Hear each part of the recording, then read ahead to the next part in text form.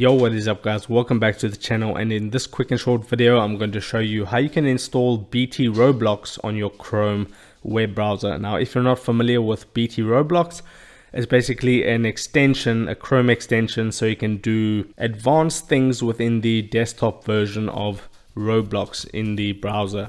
So it's very straightforward and simple to install it. Uh, once you're on Google, just tap into the search bar Chrome web store and then hit search. And you'll see it's the first result that pops up chrome.google.com so i'm going to click on chrome web store. Once that loads up you just want to go to the left hand menu here where it says search the store and just type bt roblox. And you want to select the first one that pops up there. So here you can see this is the correct one with the red background.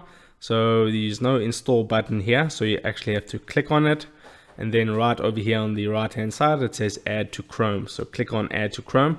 Now keep in mind that this is a safe browser extension to use. You're not going to download viruses. You're not going to get malware. So feel free. You can see there's 3 million plus users of this extension. So it is safe. So i'm going to click on add to chrome. And you might get this where it says read and change your data on a number of websites. It needs this to operate on the roblox web page so then click on add extension and it says checking here for a moment and then it will begin downloading. You can see it's downloading it right now. Once the download is finished, it is going to now install. So you can see BT Roblox has been added to Chrome.